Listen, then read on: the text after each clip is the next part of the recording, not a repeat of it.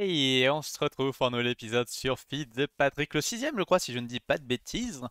Euh, j'ai pas mal avancé en vrai depuis la dernière fois, il y a pas mal de petites nouvelles choses, notamment les trucs qui volent, hein. il y a des petits trucs qui volent par-ci par-là, euh, il y a des petites nouvelles machines par-ci par-là qui ont été faites pour crafter, voilà il y a pas mal de petits trucs. Euh, puis bah, je vais vous montrer tout ça. Alors aujourd'hui, ce qu'on va faire, le but c'est de faire un réacteur nucléaire. Alors je sais pas si c'est vraiment un réacteur nucléaire, c'est le réacteur de extrême réacteur. Des réacteurs, on en fera plein de toute façon sur le pack. Là, je vais faire celui d'extrême réacteur, c'est pour augmenter un petit peu la production d'énergie et surtout me diversifier un petit peu dans la production d'énergie parce que actuellement, la production d'énergie elle est basée sur des solar panels. Voilà, j'en ai 15, euh, j'en ai crafté une dizaine depuis la dernière fois. Et c'est sympa, mais c'est assez classique, c'est-à-dire que c'est juste, tu craftes un solar panel, tu le poses, on n'en parle plus, euh, ça s'arrête là. Donc euh, c'est cool, mais c'est un peu simple. Donc là, le but, c'est de faire un réacteur nucléaire avec extrême réacteur ce qui fonctionne au Yellorium. Alors c'est comme l'uranium, sauf que ça n'a pas le même nom. En gros, euh, sur notre pack, en modé, c'est à peu près ça. Je crois que même parfois, tu peux même, tu peux même mettre tes deux dedans, je crois, pour les faire fonctionner. Tu peux même mettre, euh, en tout cas en, fonction des configs, tu peux mettre de l'uranium aussi dedans pour les faire fonctionner. Sauf que là, on va faire ça au Yellorium. Surtout qu'en plus, maintenant, en termes d'abeilles, j'ai une abeille de Yellorium, donc ça c'est cool, parce qu'on est enfin allé dans l'aine. J'ai enfin pu faire mon psy pour faire euh, les bonnies euh, les bonnies machins pour pouvoir faire après euh, le dielectric paste pour faire du poids. Donc j'ai enfin pu avoir les abeilles qui me manquaient. Donc là j'ai fait l'abeille de Yellorium j'ai l'abeille d'énergie de steel j'ai l'abeille d'émeraude j'ai tout ce genre d'abeilles donc ça c'est cool c'est cool c'est cool c'est cool. Et, et, du coup voilà donc en tout cas pour ce qui est de produire les ressources pour alimenter le réacteur ça là-dessus c'est bon. Bref on va faire un petit tour du coup de tout ce qui a été fait depuis la dernière fois par où commencer? Déjà le miner. Le miner il upgrade en tier 2 le miner, plus la dernière fois, il a bien miné. Hein. Le miner, plus la dernière fois, il a miné 4 sacs de Lonzalite qui servira à faire des upgrades. Il a miné euh, je, ne sais pas combien d'érodium et de chironite parce que bah, du coup, je l'ai passé en tier 2, maintenant il mine de la chironite. Hein. Et avec le nombre de chironite que j'ai actuellement, je peux faire déjà le tier 3. Euh, ça, je le ferai prochainement, le tier 3, je suis pas encore pressé. Donc, euh, donc, voilà, alors si ça lag de temps en temps comme ça que je ne peux pas ouvrir, c'est tout simple, hein. c'est parce qu'il y a IPR sur le serveur euh, qui essaie de faire des crafts, ou alors parce qu'il y a Lerelo ou Golden qui essaie de se connecter et que quand ces deux-là se connectent, c'est simple, ils font planter le serveur. Hein. Donc, euh, donc voilà, ça dépend, c'est soit, soit Pierre qui fait un craft, soit Golden ou Lerelo qui essaient de se connecter dans leur base et qui font tout sauter. Donc, donc ça dépend. Donc voilà, donc ça là-dessus. Ici, qu'est-ce qu'on a? Ici, c'est un petit setup un petit peu particulier, c'est pour pour ça sert à faire plein de choses, ça sert à faire du Black Iron Ingot, ça sert à faire de l'énergie de steel, ça sert à faire plein plein de ressources là-dedans avec cette petite orbe. Et en fait, cette petite orbe là, elle est alimentée par des, euh, par des, par des rods. Donc des rods, il y en a différents tiers hein, dans Powa on a des rods basiques, enfin on a les rods starter, donc vraiment les rods de base, on a les rods basiques, les rods après a Ardonnette, où il faut de l'énergie de steel, après on a les rods en blazing, où il faut du blazing crystal qui se fait dedans avec du blaze, etc. etc. Après c'est avec du diamant, de l'émeraude, des gens passent, et des nether stars. Donc voilà, différents types de rods, plus on les augmente, plus elles ont un stockage d'énergie, et plus elles, euh, elles balancent d'énergie dans le craft. Et plus on en met, mieux c'est. En gros là j'en ai une quinzaine, ce qui fait que quand je balance des crafts ça marche très vite. Et en fait ici, alors ici c'est un petit setup comment expliquer? C'est en gros, c'est pour faire de manuel, c'est pour que quand je balance des ressources, euh, ça les enchaîne et que ça fasse plusieurs cartes à la fois. Parce que sinon, en fait, comment ça marche hein? Tu balances tes ressources dedans. Donc, je vais prendre du gold et de, l'iron pour vous montrer. Tu balances tes crafts là-dedans. Donc, par exemple, si jamais je mets un gold, un iron dedans, ça va me faire un, un steel qui après repart dans mon réseau. Mais si jamais je veux en crafter plusieurs, bah c'est chiant parce qu'il faut les mettre à la main. Et en fait ici j'ai quoi? J'ai un système, donc l'orbe, hopper, stockage, ça je vous montre après comment ça marche. Et en gros j'ai un comparateur qui va regarder dans le hopper ce qu'il y a, qui envoie un signal de redstone ici. Là on a un bloc quelconque, putain mais casse-toi On a un bloc quelconque avec un piston en dessous. Donc voilà, là en dessous du sable, il est parti où le sable? Et qu'il a été absorbé. Soit il a lagué, soit je l'ai pris. Non, je l'ai pris directement dans le backpack. Oh putain, ça lag. Oh Bon, donc je disais, avant qu'Aipierre vienne me taper et que tout le serveur crash, et que ça continue à le planter d'ailleurs actuellement, hein, c'est-à-dire que que, que, que, voilà, hein, j'essaie d'ouvrir mon inventaire, ça ne marche pas, waiting for server. Ah, si good, quelqu'un qui faisait un craft. Donc je disais, donc pour en venir, on a Hopper, Comparator, Redstone, un piston en dessous, un sable qui est posé par-dessus, un sable ou un gravier, un truc qui est soumis à la gravité, un bloc quelconque. Moi j'ai mis du star metal parce que c'était joli avec un bouton ici. En fait ça servira à lancer le craft. Un repeater sur deux ticks. Un bloc quelconque avec une torche de redstone. Et ici euh, de la redstone sur des entanglés de blocs. Pourquoi des entanglés de blocs? Parce qu'en fait, les entanglés de blocs, l'avantage, c'est qu'ils vont permettre, on peut les lier à n'importe quelle ressource. On peut, en fait, on peut les lier à n'importe quelle chose. Ce sont des blocs, ce sont des conteneurs même hein, qu'on peut euh, relier à, ce qu'on veut, à un autre bloc, à un, autre conteneur, à quoi que ce soit. Ce qui fait qu'en fait, les hoppers, quand ils vont se vider dans ces entanglés de blocs, lui, vu qu'il est bindé sur l'orbe, et eh bah ça va amener directement les systèmes dans l'orbe. Plutôt que refaire un système à côté qui va re-ramener les systèmes dedans. Là, si jamais je mets si encore faut-il que ça marche.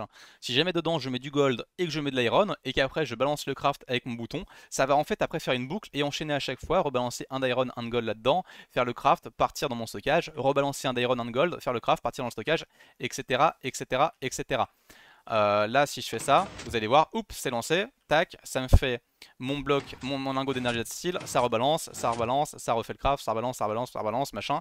Alors bon, sauf que là, vu que le serveur il est complètement capoute, euh, forcément ça lag, mais en tout cas ça marche nickel. Hein. Et donc voilà. Et c'est un tanglet de bloc ici, lui, il est relié à un petit chest ici avec un importer, ce qui fait que toutes les ressources qui arrivent dans son chest, pouf, ça arrive là-dedans. Donc voilà. Et euh, comme ça c'est très pratique. En fait, ça, ça fonctionne comme des Ender Chest en gros, sauf que tu peux les bind sur n'importe quoi, et surtout c'est moins cher qu'un Ender Chest. Mais le problème des Ender Chest, c'est qu'actuellement ça me coûte euh, des Blaze Rod à chaque fois à faire, j'en ai pas, parce que j'ai pas encore l'abeille de Blaze. Alors que là, bah, ça, ça me coûte juste des Ender Pearls, et les Ender Pearls j'en ai plein parce que j'ai l'abeille d'Under, et c'est plus pratique pour faire des setups. Et en gros, là actuellement, vu que j'ai 6 euh, je peux faire un craft avec 6 ressources différentes.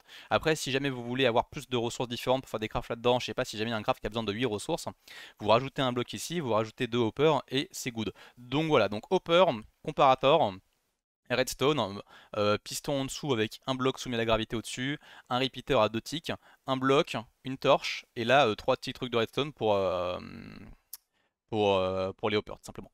Donc voilà, voilà, voilà, voilà. Voilà, voilà. Bon, bah ça c'est fait. Qu'est-ce qui a été fait d'autre dans la base? Les îles volantes. comment on peut faire des îles volantes comme ça? C'est tout simple, c'est avec Botania en fait. Avec Botania, vous avez les shards of Laputa si j'arrive à l'écrire. Donc vous avez les chars de Flaputa qui se craft comme ceci. Donc c'est des Gaia Spirit que vous avez en faisant le boss de Gaia, des Prismarine Crystal, des Dragonstone que vous avez avec le portail et tout. Oula, je passe en plein écran, je suis désolé. et euh, des runes quelconques que vous craftez dans le runic altar. Donc voilà, en vrai. Et ça c'est pareil, c'est tout simple, c'est une pasture site que vous avez comme ça, de la dirt et puis une fleur euh, quelconque de botania avec de la glowstone. C'est tout bidon. Et en fait les Laputa, ça va vous faire des îles. en gros, ça va vous prendre une île dans le sol et ça va vous la mettre en hauteur. Et euh, de base, c'est un rayon de 14. C'est-à-dire que vous avez le bloc au milieu et après ça part 14 dans chaque direction. Et si jamais vous mettez deux chars de flaputa ensemble, ça fait une char de flaputa tier 2 avec un rayon de 15, puis après un rayon de 16, puis un rayon de 17, etc. Donc là, pour vous montrer, ça vous montre les chars de flaputa de 5, 10, 15, 20. Donc en gros, ça va de 1 à 20. Et au maximum, vous avez un rayon de 33, soit un diamètre de 67. Alors je sais pas si c'est un diamètre de 67 ou 65, parce que dans le rayon, j'arrive pas vraiment à savoir si jamais ça compte le bloc du milieu. C'est pas très clair. Mais en vrai, ça vous fait comme une très grosse île. Moi, faut savoir que toutes les îles que j'ai ici, c'est que des chars de Flaputa tier 1. Euh, ça me permet quand même de pouvoir faire plein de choses. Ici, j'ai du Astral que j'ai commencé, donc j'ai avancé un petit peu dans les structures avec le Starlight Infuser et puis mon Celestial Altar. Alors Astral, j'ai pas trop y revenir dessus parce qu'en vrai c'est super bidon à faire, vous avez juste besoin du bouquin et tout est expliqué dedans. Dès que vous allez cliquer quelque part dans le bouquin, je sais pas, par exemple le Starlight Crafting Altar, hein, pour voir comment ça marche, vous avez la structure ici, vous avez le nombre de blocs qu'il vous faut. Euh, moi actuellement j'en suis au Celestial Altar, et ben c'est tout simple, je vais dans la catégorie du Celestial Altar qui est dans Attunement, je le cherche, il est tout en haut à droite, et comme ça je regarde, pouf, hop, il me faut 42 marbres en briques, 4 marbres en runes, etc., etc. Et ça vous montre comment le, comment le build. Et en plus, avec votre Resonating Wand, quand vous faites un clic droit sur l'altar, ça vous montre le, le, schématique, si je puis dire, de tout ce qu'il faut build en fait. Ça vous montre tous les blocs à poser et où les poser, donc ça c'est très pratique. Et ici j'ai le Starlight Infuser qui permet d'infuser soit de l'aquamarine pour en faire de la Resonating Gem, soit des vitres pour en faire je sais plus trop quoi. Bref, en gros vous mettez du liquide Starlight autour dans la structure, et à chaque fois que vous allez faire un craft, ça a une chance de vous consommer du liquide Starlight, c'est pas forcément à 100%, et ça vous permet de pouvoir faire pas mal de petits refs là-dedans, à savoir que par la suite, si jamais vous voulez euh, que ça consomme moins de liquide Starlight, vous pouvez faire un calice qui est le calice, le containment calice, et vous allez, si vous le posez à côté, donc un peu, un peu n'importe où autour, hein, vous pouvez le poser sur les, sur les marbres ici par exemple, si vous le remplissez de liquide Starlight, et ben en fait ça va re-remplir automatiquement déjà là où il y aura des trous de liquide Starlight, donc pas besoin de le faire à la main avec un bucket, et en plus, et en plus et en plus, euh, ça consomme moins de liquide Starlight. C'est-à-dire que généralement, ça fait que ça va en consommer moins autour, ça va moins souvent vider le liquide Starlight autour. Donc en plus de le remplir automatiquement, ça vous en consomme moins, ce qui vous permet après de pouvoir comme ça automatiser un petit peu les crafts dedans. Si j'en avais une dizaine, une vingtaine, une centaine à faire, c'est plus pratique.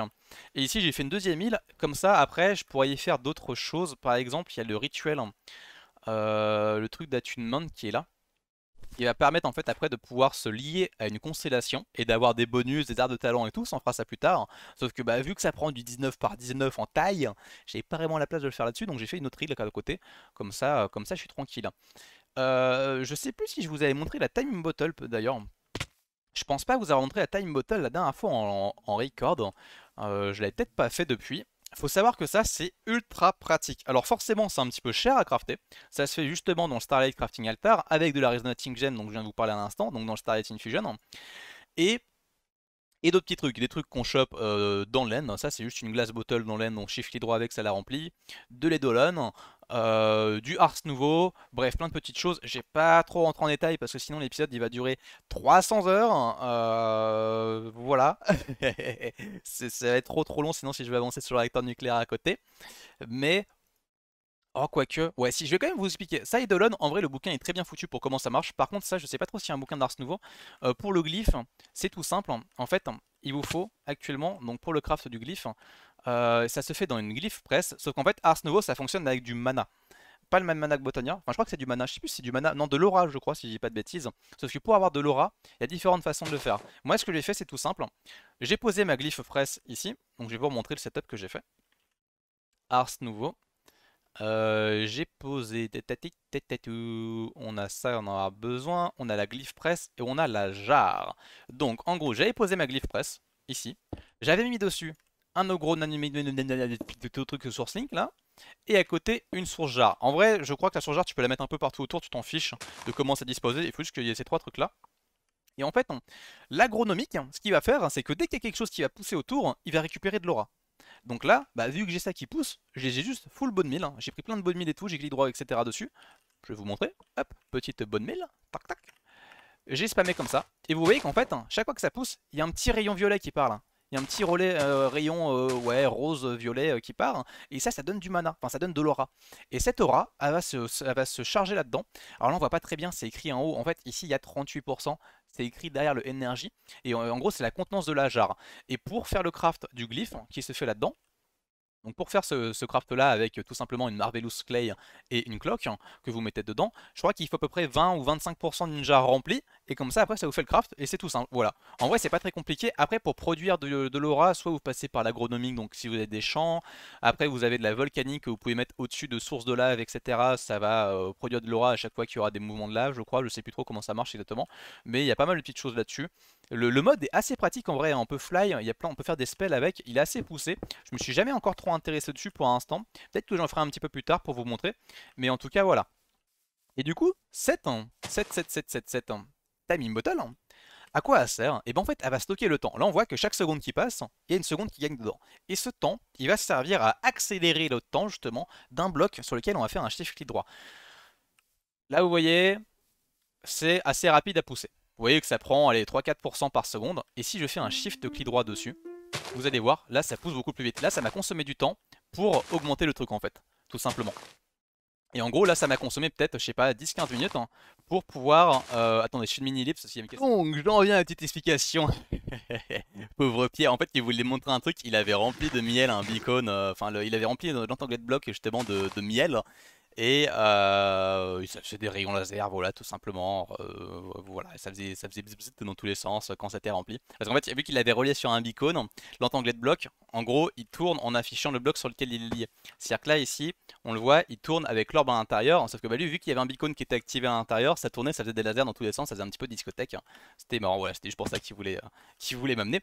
Mais bon, pour en revenir à la time donc en fait, du coup, comme vous avez vu, là, si jamais je fais un clic droit, ça va me consommer 30 secondes. Là, si j'en mets un, ça va me consommer re 30 secondes. Là, si j'en fais un, ça me consomme une minute parce qu'en fait, plus je vais les cumuler, plus ça va me consommer de temps. Ça va consommer 30 secondes, puis une minute, puis machin, etc. etc. Et jusqu'à la fin, on peut monter à x256. Et si on monte à x256, ça me consomme une heure de temps de jeu. À savoir que euh, le bonus dure 30 secondes. Donc en vrai, faire x256, c'est bien. Mais vu que ça dure que 30 secondes, euh, faut, y aller mollo non plus parce que ça, vous consomme quand même une heure euh, que vous avez stocké dedans. Donc après, après vous pouvez toujours AFK sur le serveur ou quoi et stocker euh, des heures et des heures comme ça à rien foutre, hein, si je puis dire. Mais, euh, mais en vrai, mais, par contre, c'est très pratique quand t'as des machines qui sont un peu lentes parfois, que tu veux les booster. Je sais que moi, de temps en temps, quand je fais les machines de mécanisme et que je veux faire plein de craft dans ce coup, je vais en faire des centaines. Je lui mets un petit coup de boost en x4, en x8 et tout, ça suffit. Mais ça fait au moins que la machine, elle va 8 fois plus vite. Hein. Et, c'est con, il n'a rien. Mais 8 euh, fois plus vite. Oh, de fait, qu'il y a un gros papillon qui vient m'attaquer. Mais casse-toi Il y a un immense papillon qui va entrer dans la pièce. Qu'est-ce qu'il veut? Mais, mais, ouais, faire, faire du x8 sur les machines. C'est bête, mais, euh, mais c'est quand même très pratique, même si ça dure que 30 secondes. Tu peux, au lieu de faire 100 euh, lingots en une minute, j'en sais rien, tu vas en faire 800 et du coup, c'est quand même plus pratique. Donc voilà. Voilà, voilà. Bref.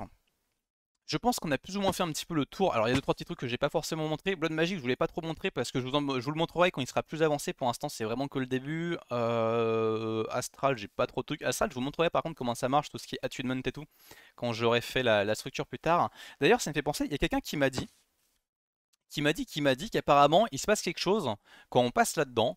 Euh, parce que autant je sais que quand tu drops des ressources dedans, ça te transforme. Je sais que quand tu drops le bouquin de Botania dedans, ça le transforme. Alors passer dedans par contre, ça ne fait strictement rien. Très bien. Ou alors attends. Wait. Hein, hein? Alors à part cacher des trucs là-bas, ça fait rien. Très bien. Et eh ben je me suis fait info chat par les commentaires. Merci à vous. Merci beaucoup. Bon. Allez, trêve de bataille, euh, on va passer sur le réacteur nucléaire, parce que ça fait quand même 20 minutes qu'on cause. On va passer sur le réacteur nucléaire.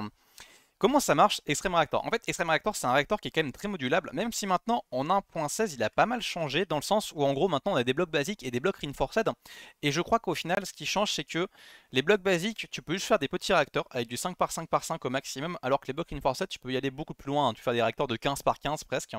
À savoir, plus c'est gros, forcément, plus ça va consommer d'hydrolium, mais plus ça va produire d'énergie aussi et c'est très modulable à l'intérieur. C'est-à-dire qu'à l'intérieur, vous allez pouvoir moduler comme vous voulez les endroits où vous allez y mettre les combustibles, les endroits où vous allez y mettre le refroidissement, etc. Moi j'ai un petit pattern actuellement euh, qui est assez bourrin. Moi c'est un pattern, c'est juste là pour produire de l'énergie, c'est pas là pour consommer peu de lingots, c'est vraiment euh, je mets le plus de rod possible avec un tout petit peu de refroidissement. Vous verrez ça. Et mon réacteur il va faire du 9 par 9. En fait j'en profite, vu qu'il y a des trous là, parce que j'ai fait des volantes, j'en profite, moi je vais faire mon réacteur nucléaire là-dedans. Tout simplement, mon réacteur nucléaire il va faire du 9 par 9, donc il va tenir là-dedans, je vais l'enfoncer dans le sol. Et pour faire ce réacteur nucléaire, il va me falloir quoi? Des casings, donc ça c'est des blocs de base des vitres, mais en vrai, je sais même pas si je vais mettre des vitres. En fait, il n'y aura même pas de vitres parce que vu qu'il sera sous terre, il n'y aura pas de vitres en fait. Donc je vais retirer les vitres. Il n'y aura pas de vitres. Il y aura un réacteur contrôleur, donc ça c'est pour gérer le réacteur. Les fuel rods, donc ça en fait ça va être les rods dans lesquels il y aura les barres de yellorium. Et euh, après, euh, je crois que c'est à peu près tout. Il faudra juste de quoi sortir. Qu'est-ce qu'il veut lui? Voilà. Il y aura juste de quoi sortir l'énergie. Faut que je me souvienne par quoi ça sort l'énergie. En vrai, c'est con, mais ça peut être pas mal. Hein. ça peut être pas mal. Hein. Je me demande si c'est pas dans le redstone, enfin, dans le redstone port. Hein. Parce que le réacteur forge énergie porte. Je sais pas. Au pire, ce que je vais faire, c'est que je vais tout crafter. Je poserai tout et on verra à quoi servent les choses. Parce que là, il y a du power tap. Alors, il y a le passif power tap, il y a l'actif power tap. C'est peut-être le power tap en vrai, hein, l'endroit où quel. Je, vais faire le, réacteur actif power tap. Hein. Le redstone port, normalement, c'est plutôt si jamais tu veux contrôler ton. En fait, c'est si jamais par exemple tu peux faire les systèmes en mode euh, je veux que quand c'est full énergie, mon réacteur s'éteigne et qu'il se rallume uniquement quand il reste 60% d'énergie dans le réacteur, etc. Ça, tu peux faire des trucs comme ça pour contrôler et lui dire en gros que si le réacteur il est par exemple en dessous 60% d'énergie, il enverra un signal de redstone qui du coup fera le redstone port et après du coup tu peux aller euh, jusqu'au contrôleur et l'alimenter en redstone et tout pour le relancer si jamais il est en dessous d'un certain taux d'énergie ou alors inversement euh, baisser euh, la profondeur des rods etc dans le réacteur donc, voilà. Pour ce qui est des ressources, c'est pas très cher. Hein. les reinforced, alors les reinforced, il faut juste des réacteurs casing. Enfin, en gros, pour les réacteurs casing reinforced, je crois que ça coûte rien de plus que les basiques. J'ai arrêté de regarder le contrôleur. Je crois que juste ici c'est du sable avec du graphite et, du, de l'iron, alors qu'ici c'est du bloc d'iron avec du graphite et du steel. Donc en gros, au lieu de l'iron c'est du steel, et au lieu du sable c'est un bloc d'iron. Vu que j'ai beaucoup de ressources, théoriquement ça pose pas problème. Euh, j'espère avoir ça d'iron quand même. De toute façon j'ai encodé tous les crafts. Pour être sûr, je vais calculer un petit peu combien il me faut. Et alors le graphite c'est tout simple, c'est du charbon qui cuit. C'est tout. C'est du charbon au four. Hein. Charbon au four, ça fait du graphite. Hein. Donc voilà, ça c'est pas compliqué non plus. Faut juste faire gaffe quand vous faites, euh, quand vous automatisez ça dans des euh, fours vanilla ou des fours en tout cas qui fonctionnent avec un combustible, quand vous allez lui rentrer le charbon, que ça rentre bien dans le bon slot. Hein. Parce que si jamais ça rentre dans le slot du combustible, enfin du de la production d'énergie en dessous et pas dans le slot au-dessus, vous pouvez vous faire avoir là-dessus. Donc voilà. Du coup, moi, je vais préparer tout ça. Alors si, petite chose avant, je vais aussi vous montrer ça. Ça maintenant, c'est mon stockage d'énergie parce que avant, le stockage d'énergie là-bas, c'était un énergie cube. Juste, j'y balançais l'énergie dedans et après, je la renvoyais dans mon réseau.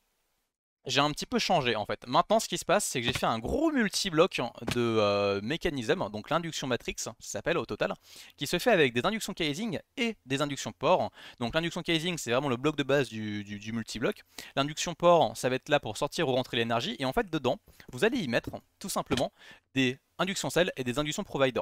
Les inductions cell, c'est ce qui va euh, permettre de augmenter votre stockage. Actuellement ici je suis à 1600 milliards de stockage de RF parce que j'ai mis une Ultimate Induction Cell. Les Induction Cell, vous en avez des basiques, vous en avez des euh, Advanced, des Elite, des, des Ultimate, et vous voyez que de base c'est 3 milliards, là c'est 25 milliards, là c'est 204 milliards, là c'est 1600 milliards d'énergie.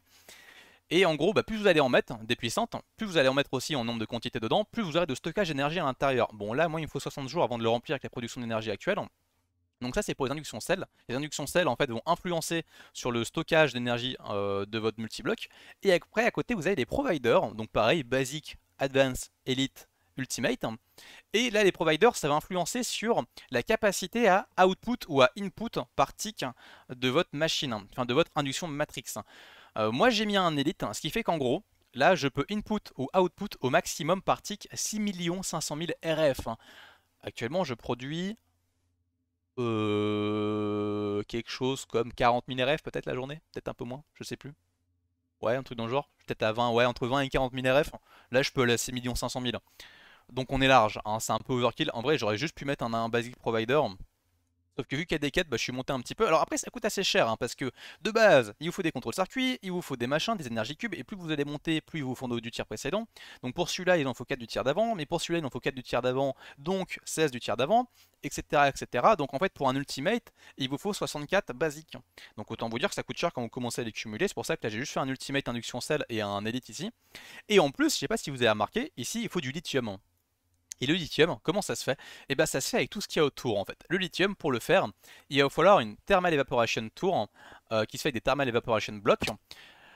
Ça, je vous laisse bidouiller sur internet pour voir comment ça se build, c'est très simple, hein. c'est juste vous faites une tour avec euh, le sol qui est en 4x4 et puis après vous montez sur les côtés, euh, ça peut monter je crois jusqu'en 18 de haut, un truc comme ça. Et dedans vous allez injecter de l'eau via des valves et vous allez en sortir du brine via des valves aussi. Donc voilà, ça, rentre de l'eau, ça vous fait du brine. Le brine en gros c'est un peu de la saumure. Hein. Et après ce brine, vous allez l'envoyer dans une autre tour. Et cette fois-ci, le brine il va être transformé en lithium. Et ce lithium, encore une fois vous sortez via des valves, vous le mettez dans un rotary condensator. Vous le mettez bien ici en euh, déconcentration. En fait, de base, il est en décondensating. De base, il est comme ça. Sauf que le but là, c'est de le passer du lithium à l'état gazeux et pas de l'état gazeux à l'état liquide. Euh, donc pour ce faire, il faut bien penser à cliquer ici pour inverser le sens de la machine. Et ensuite, ça part dans un chemical crystallizer qui me permet de faire mon lithium dust. A savoir que les tours de base, ça produit pas grand chose. De base, les tours, ça produit peut-être euh, allez, 10 euh, buckets par tick, mais en fait, vous pouvez augmenter la chaleur de ces tours-là. Et pour ce faire, moi, je passe par un resistive heater dans lequel on envoie de l'énergie. Ici, on peut configurer l'énergie qu'on veut, on peut lui mettre le chiffre qu'on veut. Moi, j'ai mis 500 RF par tick, ça suffit en vrai à produire pas mal de chaleur, et du coup, ça fait que mes tours à brain actuellement produisent 80 millibuckets par tick de chaque côté. Euh, j'ai fait pareil ici, comme ça, ça augmente aussi la chaleur pour faire du lithium plus rapidement. En vrai, c'est un peu... En fait, là, faut savoir que la machine, tourne depuis, elle tourne depuis 24 heures. J'ai 87 000 de lithium. Pour le craft ici, il m'en fallait une centaine. Euh, donc c'est un peu overkill ce que j'ai fait, mais vu que je voulais un truc symétrique, j'en ai profité pour faire 4 tours. En vrai, une seule tour à brine, une seule tour à lithium, ça suffit largement. Mais en vrai, vu que le lithium, plus tard, je pourrais en faire du tritium pour un réacteur nucléaire de mécanisme, je me suis dit que tant qu'à faire, autant en profiter et faire une plus grosse prod. Voilà, puis ça fait un truc symétrique comme ça, c'est sympa.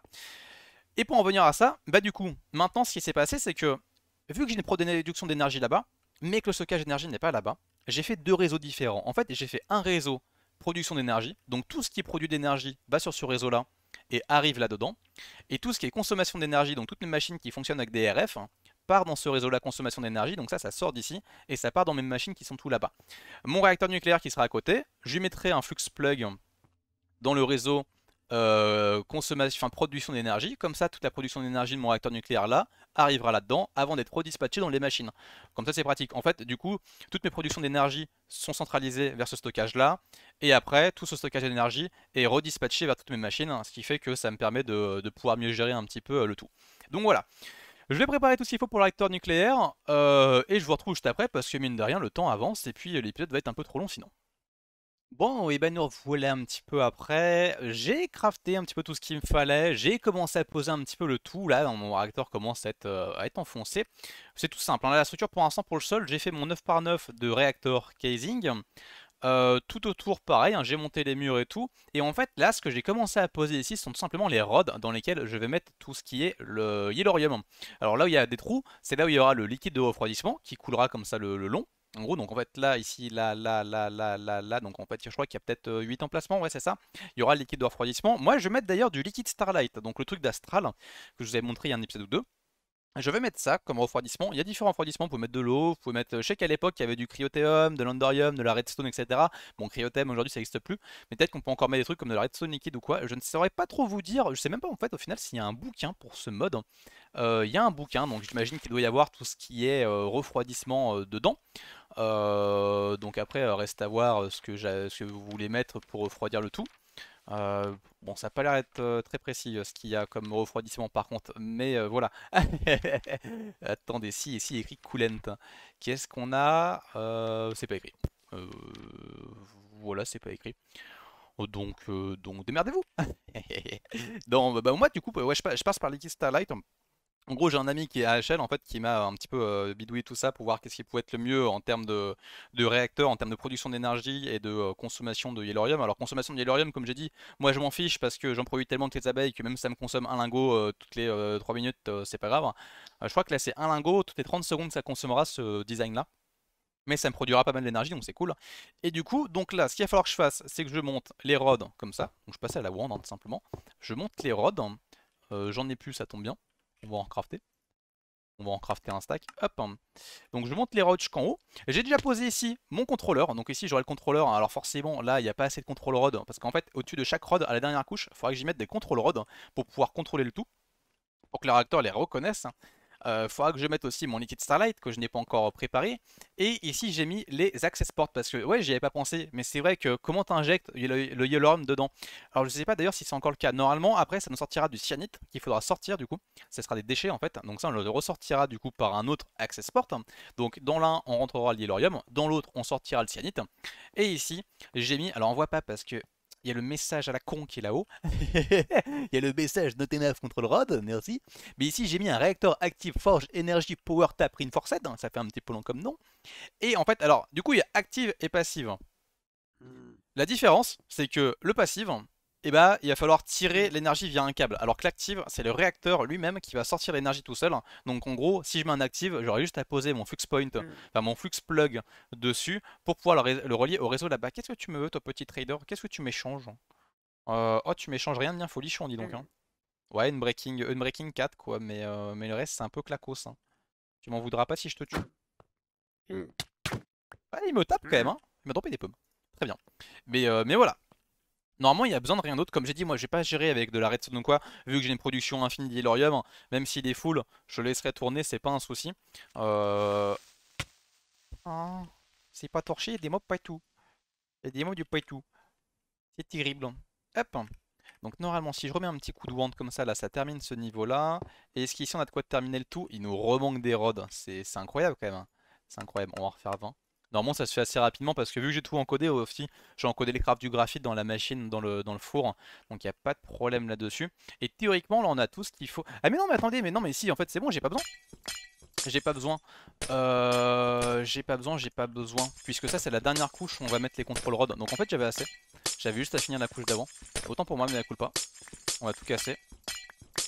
Alors d'ailleurs, je suis désolé, hein, peut-être que cet épisode-là, ça apparaîtra un petit peu... Euh, peut-être parler un peu vite, hein, peut-être que c'était un peu du rush. C'est juste qu'il y a tellement de choses par moment à vous montrer entre deux épisodes. Euh, Mais en même temps, je peux pas rentrer forcément dans les détails pour tout vous montrer. Et j'ai envie de vous, dire un petit peu tout ce qui a été fait. Mais c'est vrai que je peux pas forcément rentrer dans les détails de tout. C'est pour ça que j'ai un petit peu. euh, Par exemple, j'ai pas montré Blood Magic. Je vous le montrerai plus en détail plus tard quand il sera un peu plus avancé. Euh, pareil, je me suis pas trop euh, étendu sur, euh, sur Astral. Mais en vrai, c'est parce que c'est des modes en fait que je considère un petit peu comme acquis aujourd'hui. C'est des modes qu'on connaît depuis très longtemps. Et surtout, en fait, ce sont des modes qui sont très bien expliqués dans leur bouquin. C'est-à-dire que vous avez juste à utiliser le bouquin, à l'ouvrir, à aller regarder ce qu'il y a dedans. Et en vrai, vous avez toutes les informations là-dessus. Donc, euh, pour le coup, c'est très pratique ça. Euh, donc voilà. Euh, moi j'ai plus qu'à aller préparer le liquide Starlight et puis normalement après tout sera, euh, tout sera setup comme il faut. Tout sera setup comme il faut. Bon, et ben le liquide Starlight est mis partout. Alors à savoir que euh, déjà, première chose, faites bien gaffe, ne le mettez pas sur la dernière couche. Ne le mettez pas ici votre liquide parce que vu qu'ici il faut le refermer après avec des casings, si jamais vous le mettez là et vous refermez, vous perdez votre liquide. Deuxième truc, il n'y a pas besoin de mettre de source à chaque niveau. Juste vous mettez une source ici, ça coule, ça suffira à faire du refroidissement partout. C'est pas comme à l'époque avec les anciens euh, réacteurs, avec Big Reactor, où on avait besoin par exemple de mettre une couche de cryothéum à chaque endroit, ce qui était vachement chiant à mettre couche par couche, hein, on va pas se le cacher. Là, il n'y a pas besoin. Et du coup, normalement, théoriquement, là tout de suite. hein.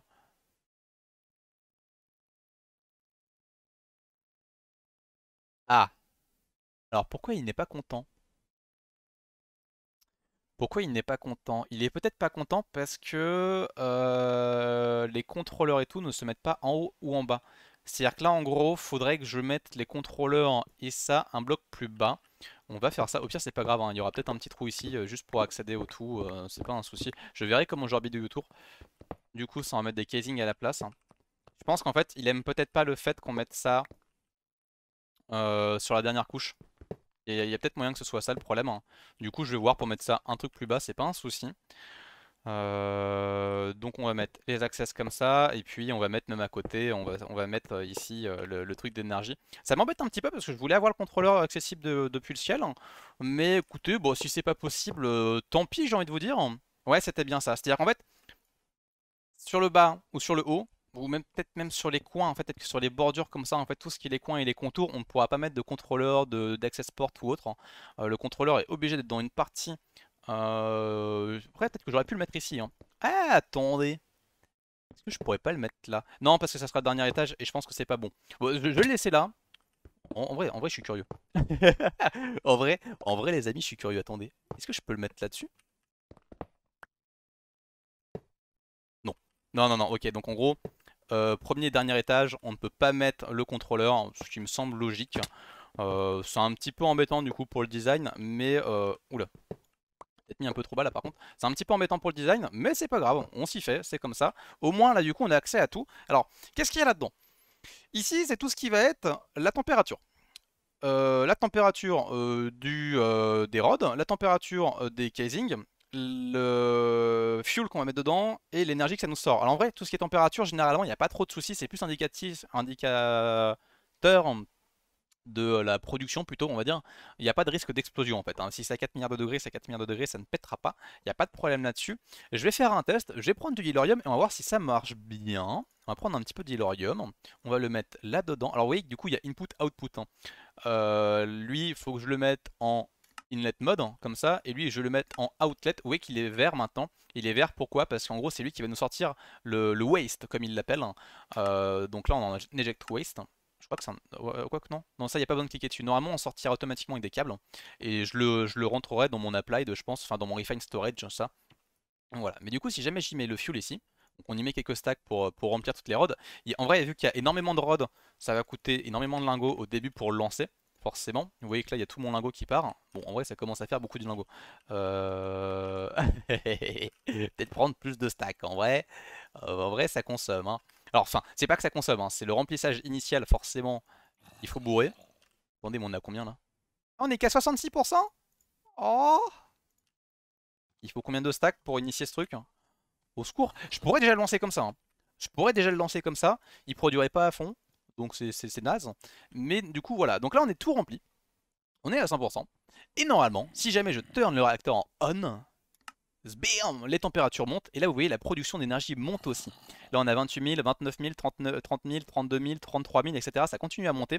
Plus ça va monter en température, plus ça va continuer un petit peu à augmenter l'énergie. Mais je pense qu'on va se stabiliser vers 35 000 peut-être. hein. Ça n'arrivera pas à monter plus haut.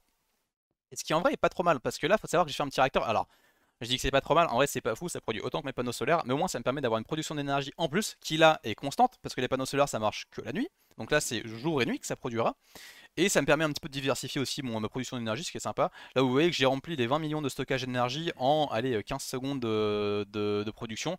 Et du coup ça me consomme 1,72 millibuckets euh, de lingots par tick, ce qui fait un lingot toutes les 30... En vrai ça fait beaucoup en fait, attendez, parce que 20 ticks par seconde, donc ça fait 40 millibuckets par... Euh, par euh, ça fait 4, ouais, 70 millibuckets par seconde. Hmm, ouais, toutes les 15 secondes, je consommerais un lingot. Ça fait pas mal quand même, hein, ça fait pas mal. En vrai, quand on regarde là, on était à 64, on est déjà à 61. Donc ça va que les abeilles vont produire derrière, mais, euh, mais ça consomme un petit peu quand même. Il hein. va falloir que j'automatise tout ça. Donc ici, comment ça va se passer? Je vais tout simplement mettre là-bas un entanglet de bloc qui sera relié ici.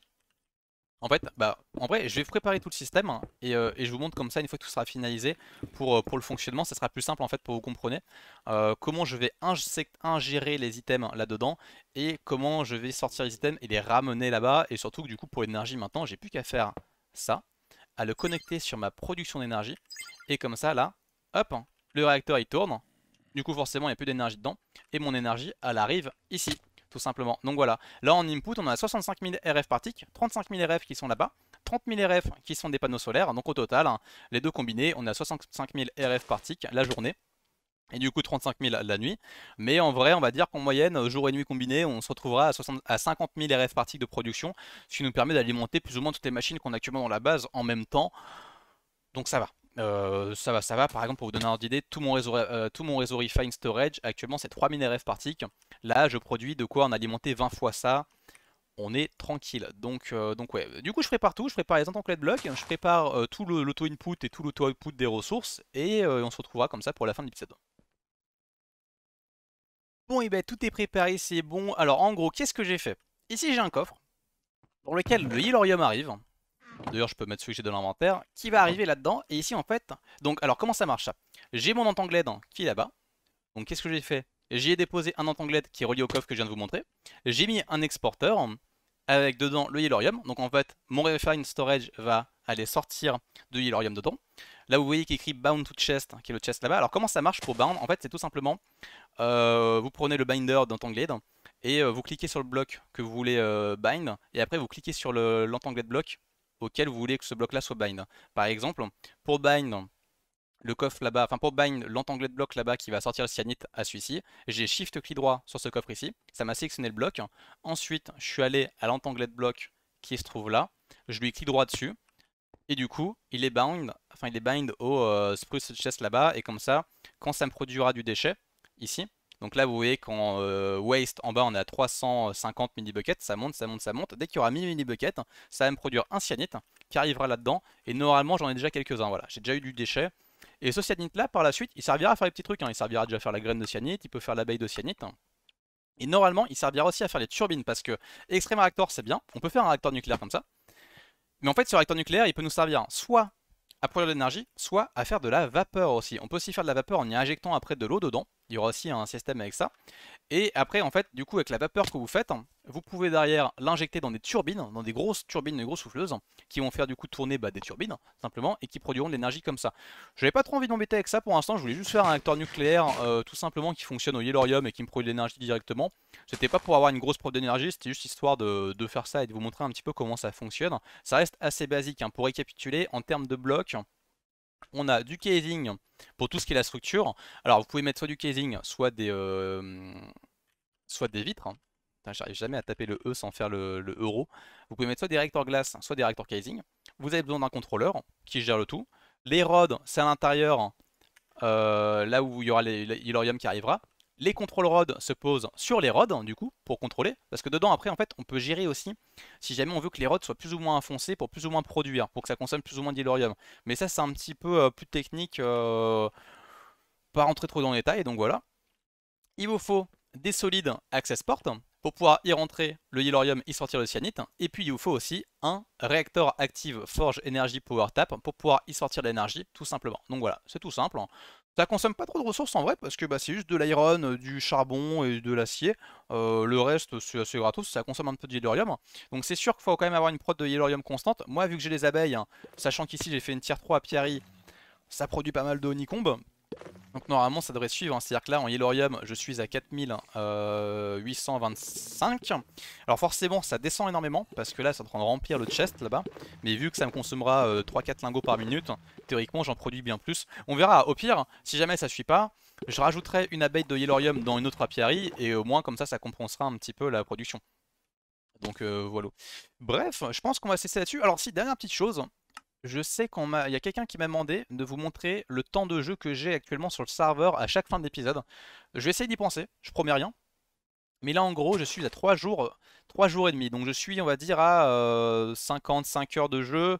Sachant qu'il y a quelques heures d'AFK, on va dire qu'en effectif je suis peut-être à 45, 50 heures de jeu, un truc comme ça. Euh, c'est pas très indicatif parce qu'il y a des personnes qui ont autant de jeux que moi qui sont encore au tout début du modpack, il y en a qui vont se pencher sur la déco, il y en a qui vont découvrir le modé donc forcément on va mettre plus de temps. Voilà, moi je connais quand même la plupart des modes qui sont sur le modpack donc forcément ça m'aide à avancer un petit peu. Mais euh, voilà. Sur ce, eh ben, écoutez moi les amis, je vais vous laisser là-dessus pour cet épisode-là. N'hésitez pas si jamais vous avez des questions concernant le fonctionnement de certaines machines pour que je vous y réponde plus en détail dans les commentaires, hein, n'hésitez surtout pas. Parce que c'est vrai que bah, là j'ai peut-être survolé 2-3 trucs euh, d'astral, 2-3 trucs de ici, j'en sais rien, ou quoi que ce soit pour pas que l'épisode dure une heure et demie forcément. Mais en tout cas, voilà, n'hésitez pas à poster des commentaires. Si jamais vous avez des questions, j'y répondrai avec grand plaisir. Et moi, je vous dis rendez-vous euh, dimanche, je dirais. Ouais, dimanche. À savoir que je pense qu'après, les semaines qui suivent, là, euh, on sera à deux épisodes par semaine. Il y aura un épisode le mercredi, un épisode le dimanche. On passera qu'à deux épisodes par semaine parce que vu que je vais avancer sur le pack, il y aura moins de trucs à montrer. Euh, ça sera plus technique ou quoi, il sera plus difficile de faire du contenu exclusif pour vous. Donc voilà, on se mettra à deux épisodes par semaine, mercredi, dimanche, 18h30. Comme ça, euh, voilà. Et peut-être qu'à terme, pour la fin du mode pack, on passera que pour le dimanche ou que le mercredi, on verra. Je vous tiendrai au jus quoi qu'il arrive. Donc voilà. Sur ce, je vous remercie d'avoir suivi. En tout cas, c'était bien cool. Je vous souhaite de, euh, bah, portez-vous bien, hein, tout simplement. Et puis bah, je vous dis rendez-vous la prochaine, dimanche, 18h30. Tchuss